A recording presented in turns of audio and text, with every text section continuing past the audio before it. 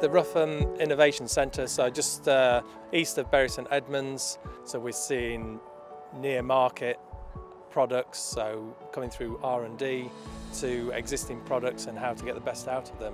And as they've seen today, you look at the solatenol plots against the existing chemistry and all of a sudden, you know, that's exciting to them rather than just talking about a active ingredient and a bottle um, is not so exciting. So, you know, it brings it to life and they get the opportunity to see what it does in the field.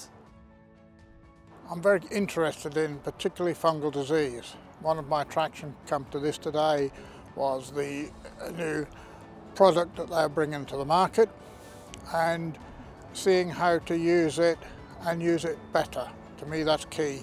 And the one message coming out of here today was prevention.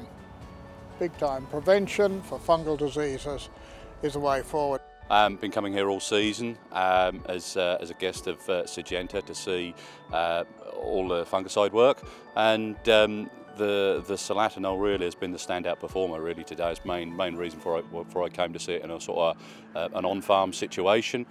Solatenol, uh, quite impressive. Um, obviously you've got Adexar and uh, Aviator as standards here, but uh, the Solatenol does seem to be head and shoulders above those.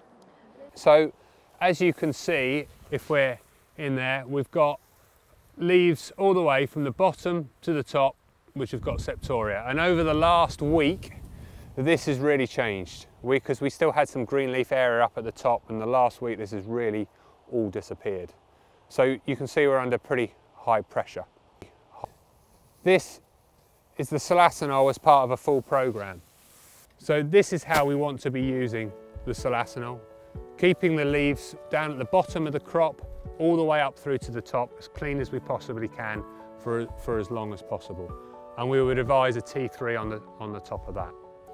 The only difference to this, to how, our final advice, is that we would always suggest you add in chlorothalonil in Bravo at the T2 timing as well.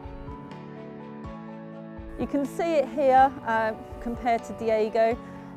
They have a similar um, aspect, these two varieties. Diego's grown for its consistency. It does well in any situation, uh, any rotation, any soil type. And to some extent this is what Graham does as well. It consistently yields at that 104 uh, level. It performs in all regions of the UK but it has an outstanding um, disease profile. So no disease lower than a, no main disease lower than a seven.